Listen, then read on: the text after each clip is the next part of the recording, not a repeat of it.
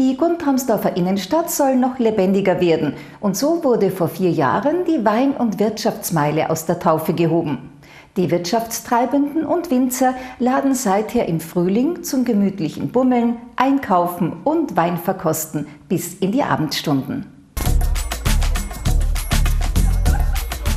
Die Weinbauern präsentierten ihre Weine und die Wirtschaftsbetriebe stellten ihre Produkte und Dienstleistungen vor. War es ein Erfolg? Was ich bis jetzt gesehen habe, sind sehr viele Leute unterwegs und es kommt auch gut an.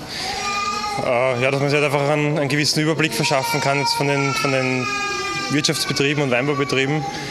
Und ja, das, die Rückmeldungen sind, glaube ich, sehr positiv. Das Wetter passt, also was, was will man mehr? Die Kombination Wein und Wirtschaft ist ja eigentlich ganz gut gewählt. Ja, ich meine, es ist, es ist ja, wir sind alle in einem Ort zu Hause und, und äh, versuchen halt da alle an einem Strang zu ziehen und ja, es ist, glaube ich, eine ganz passende Kombination und ich hoffe, jeder kann daraus seinen, äh, seine Vorteile schlagen. Und wichtig ist halt, dass wir uns als, als Ort äh, gut präsentieren können und zeigen können, was wir zu bieten haben. Wir haben früher die Einkaufsnacht gehabt, alleine nur für die Wirtschaftsbetriebe und die Weinhauer haben so ihre offenen Weinkeller gemacht und da war eher die Besuche eher so, ich sage mal, ja, nicht ganz zufriedenstellend und jetzt haben wir uns vor vier Jahren einmal gesagt, okay, tun wir uns gemeinsam zusammen, Wein und Wirtschaft zusammen und das ist das Ergebnis und das Konzept äh, scheint bzw. geht auf. Ja. Naja, mit einem Gläschen Wein kann man besser shoppen.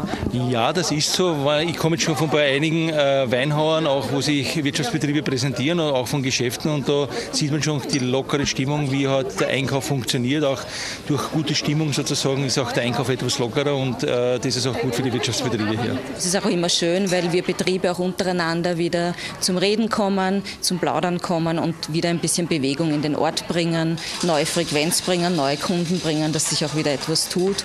Und auch die Guntramsdorfer wissen das auch zu schätzen, dass wir uns einfach wieder treffen und eine Runde gemacht wird im Ort dass da wieder Belebung auch kommt. Mit welchen Problemen hat die Wirtschaft hier in Guntramsdorf zu kämpfen? Ja, wir haben darin zu kämpfen, dass, wenn man sich die Hauptstraße anschaut, noch einige Geschäfte leer stehen, dass man sagt, okay, äh, die Leute, auch die Bevölkerung zu überzeugen, Kauf im Ort. Ja, also wir haben natürlich Probleme mit der nahen SCS und auch mit den Einkaufszentren, die rundherum sind, aber äh, wir wollen jetzt wieder darum schauen, also wir können es ja nicht direkt beeinflussen, weil wir stellen ja nicht das Geld zur Verfügung, dass wir sagen, okay, mach jetzt einen Wirtschaftsbetrieb auf, sondern der muss das Risiko schon selbst tragen, aber wir wollen dafür fördern, dass auch wieder das Leben in Gundamsdorf im Kern auch gemeinsam mit dem Bürgermeister, mit der Gemeinde sozusagen hier gefördert wird. Ich glaube, dass einfach für den ganzen Ort wichtig ist.